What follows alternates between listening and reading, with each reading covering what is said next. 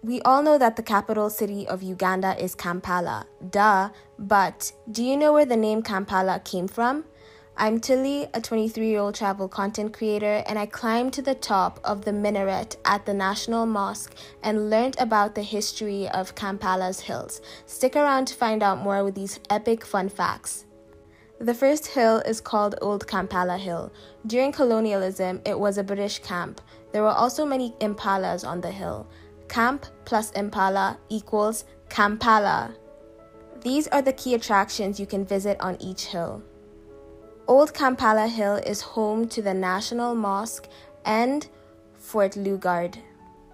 Makerere Hill is the foundation of one of the oldest universities in Africa, Makerere University.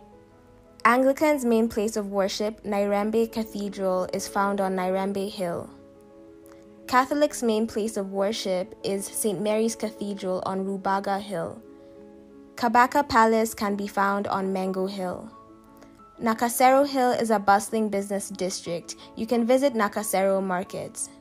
Last but certainly not least is Kololo Hill, which is an affluent neighborhood.